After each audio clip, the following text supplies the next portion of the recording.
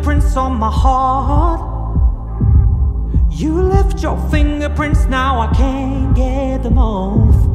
You left your fingerprints on my soul. Now I can't walk around and I never feel alone. You left your fingerprints where no one else can touch. You left your fingerprints on my soul, soul, soul.